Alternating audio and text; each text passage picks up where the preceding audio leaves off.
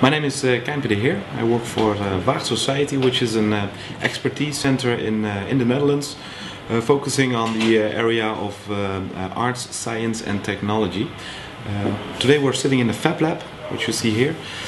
Fab Lab is one of the facilities of the organization uh, Waag. Is um, focusing on societal innovation.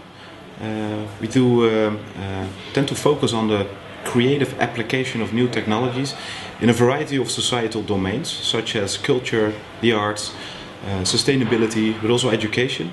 So I'm responsible for the education program, uh, which is called the Creative Learning Lab. And within the Creative Learning Lab, we um, uh, set out a research agenda focusing on mobile learning, multi-sensory learning, how is the human body an interface uh, to education, uh, to learning. Um, and we focus on another uh, theme called co-creation. So how can you um, translate the principles behind FabLab, digital fabrication, open design, personal digital fabrication? How can you translate this in an educational context?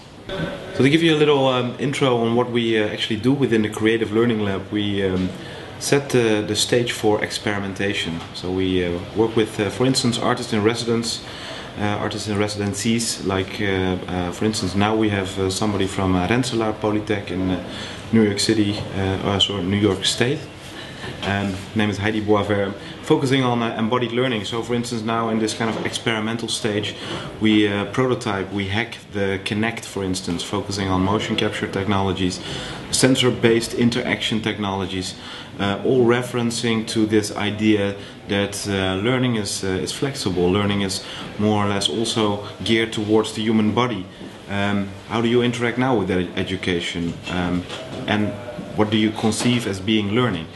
Um, so these are kind of big questions we try to translate on a more concrete level um, within experiments, and it's uh, um, it's about prototyping, it's about hacking, it's about uh, building demonstrators, which eventually turn out to be kind of contextualized applications.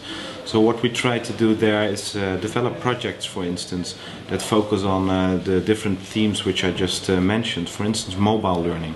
So we developed a, a, a mobile gaming platform, a locative media platform, that enables teachers, students to build their own um, locative media games to transform traditional curriculum content in the context of a gaming space. You can build your own GPS games. You can um, again translate this traditional curriculum content into a role-playing game, into a, a collect and trade. So for us, it's not about creating the games, but setting out the platform. So the people will actually develop uh, eventually the application. They will provide and uh, come up with the meaningful innovations.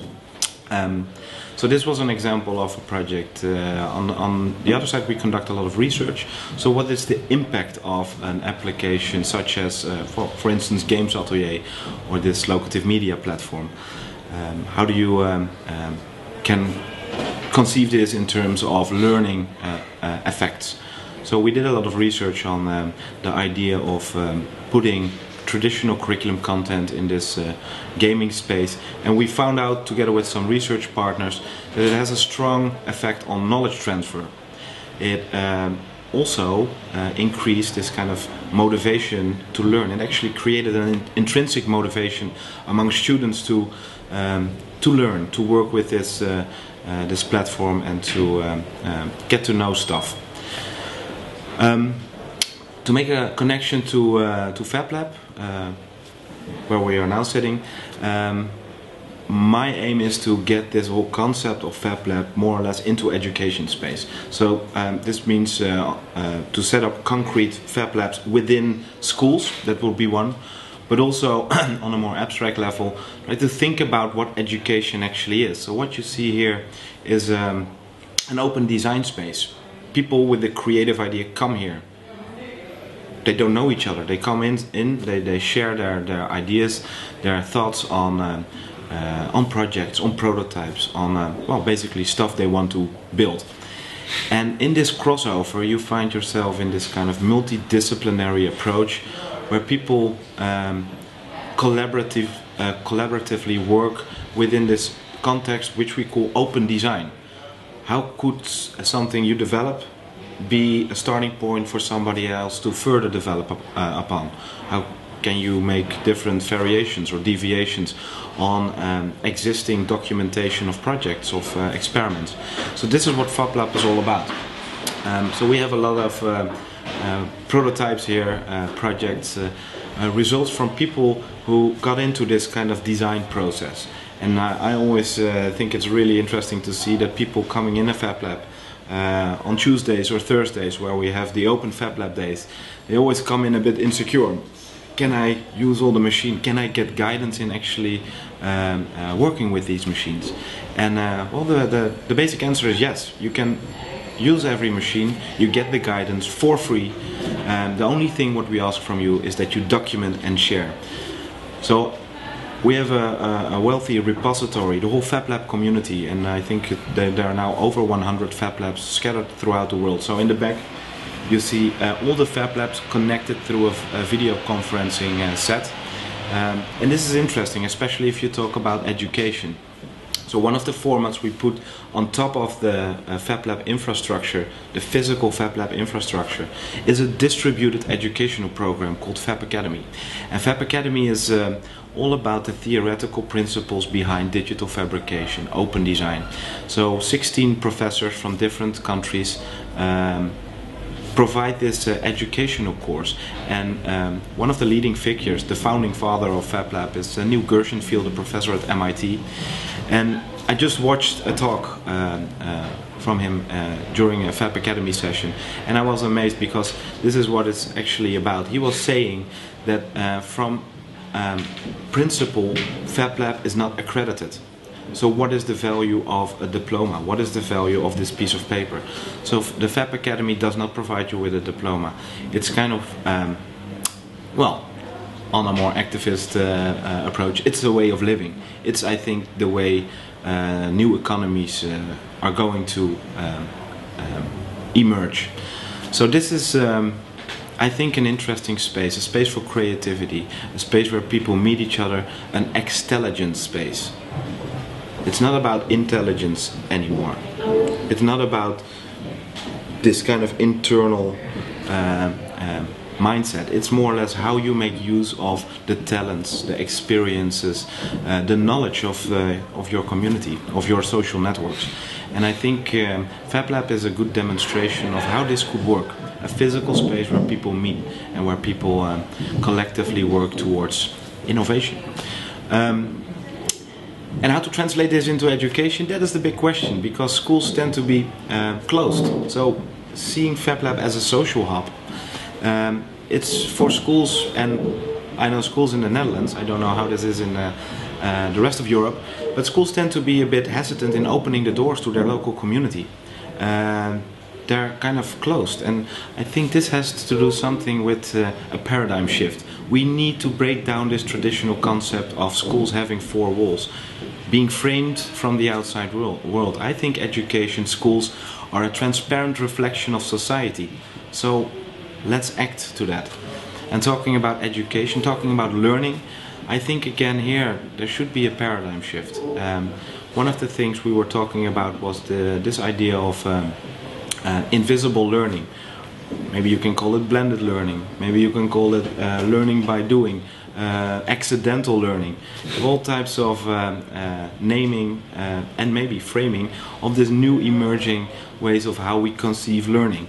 And I think, in essence, um, learning is, and it, all references to this idea that learning is time and place independent. It happens everywhere, it's everywhere. Um, so, how do you facilitate that? Is that from this physical institution with four walls from uh, 9 to 4? Um, I think not, and I think we should uh, think more or less about uh, and providing an unlimited access to learning and um, develop the tools that facilitate that process. So this is why uh, we try to uh, focus on in the Creative Learning Lab. Uh, seeing all these new creative uh, technology trends emerge and how can you use them how can you utilize them how can you utilize them in combination to um, come up with new solutions that actually uh, speak to the minds of uh, young people, of, of students, and uh, help them to um, express themselves. Because in a way i think if you look at education and one of the core visions of the creative learning lab is if you look at education and if you look at um, society and the future of a society or an economy we don't know how the world will look like in 10 years from now. So why do we train pupils now um, towards this, this concept of um, uh, competence development, of competencies which will probably not hold for the upcoming five to ten years. So I think you at one point need flexible, adaptive knowledge workers. People who are not afraid to actually change with changing paradigms, changing situations. Um, and that's, I think, in the core, these are the fundaments flexibility, adaptiveness, are fundaments of creativity. So, creativity should be in the, the core of, of education. And we now have all the tools um, to our disposal. So, about the do-it-yourself culture, and I think uh, again FabLab is an interesting uh, concept here. What you see on a maybe a, a macroeconomical level is this whole transfer from the home industry, people building stuff at homes, going into this industrial area, uh, era, having um, all these types of uh, factories uh, producing on a mass scale. But with this um, open source movement, with uh, this do-it-yourself open source movement of FabLab, you see this transforming again into localized open design labs uh, where, where designers, where entrepreneurs, students, basically anybody can come in and, uh, and work with this uh, principle of uh, do it yourself. Do it yourself, do it together. And the idea here is that um, you see, for instance, and I think this is an inter interesting example, how a do it yourself culture um, the, the ethics of do-it-yourself can also connect to entrepreneurship. And an example would be uh, an ex-math teacher coming in here a couple of uh, months uh, ago, um, a bit frustrated by the fact that the chocolate letter pie did not exist. And that was, uh, I think, and is a beautiful personal design question. So he came into the Fab Lab and he was um, building molds to actually build this first prototype of a chocolate letter pie. But he found out that the materials stick to everything chocolate sticks uh, sticks to every type of material. So he um, explored the FabLab community, uh, used the, the, video conferencing set and connected to a guy in uh, uh, Japan, FabLab Japan. And he helped him to uh, find the appropriate type of material. And he now has the first prototype of um, a chocolate letter pie. And I, I think it's interesting because he's now sitting with the biggest chocolate factory uh, uh, in the Netherlands, Verkade, aiming to get this uh, um, uh, commercialized, this uh, prototype into a product.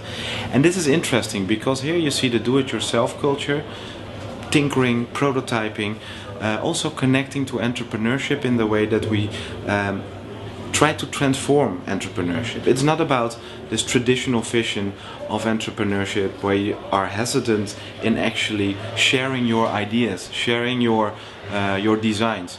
No, this is about uh, this is about sharing, and this is, I think, in essence, about creating some speed in the process and how you develop an idea which is in your head, uh, in your head, how to materialize that into a physical prototype, a tangible, which you can then uh, further develop into a product. I think entrepreneurship, the uniqueness of a good entrepreneur, is the entrepreneur who brings in that uh, that speed in that process.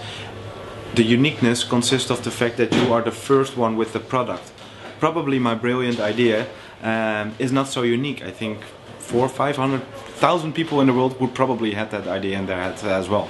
So how can you bring in speed? And you need this type of catalysts. Catalysts like Fab Labs, open design labs that um, trigger and that evoke this do-it-yourself movement. Um, and you connect it to, to a lot of uh, themes like entrepreneurship, but also if you're talking within an educational context, uh, context, talent development, which is a big issue now here in the Netherlands. How can you um, facilitate kids, pupils, young people in to discover where their talents are? Um, see this Open Design Lab, Fab Lab, as something which is not only about digital fabrication. It's a collaborative process where you design and create.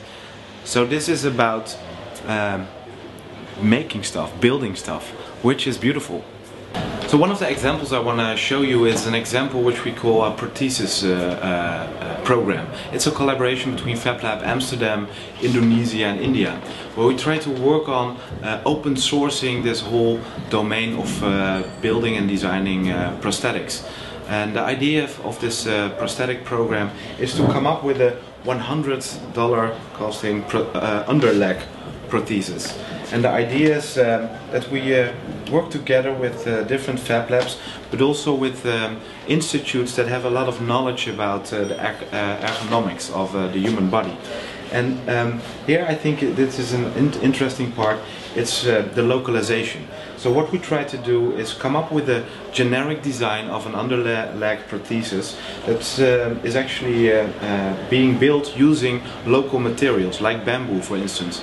Um, and here you can go into a fab lab when you have a horrible accident, when you ha had, um, have had a horrible accident and you lost your, uh, your underleg, you hump in a fab lab uh, and you build, using this generic design, you build a generic design of an underleg prosthesis. And then you can use all the machines in the Fab Lab to further, further tailor-made it and uh, let it fit to your stump, for instance. And then you, well, literally walk out a Fab Lab with your own made underleg prosthesis. And I think these are interesting uh, examples. And one of which is uh, kind of connecting to this whole domain of prosthetics is a, a guy called Eric. And Eric uh, comes in here in a wheelchair and he had a personal design question. As somebody sitting in a wheelchair, um, he's moving around the city and cities are not designed for people uh, sitting in wheelchairs. So he's got this kind of problem with the fact that uh, on a concrete level, if he wants to go into a tram or a metro, there's always a little gap between the metro and, and the, the, the, the metro station. Uh, and he always has to ask somebody if uh, somebody can push, uh, push him in the metro. So he wanted to uh, be um, uh, self-supporting in this. So he's building um, this is the first prototype, which is one element of what is going to be a, a, chain, a tank tire. He's building a tank out of his wheelchair, so you can actually roll in the metro or the tram without having to ask somebody else.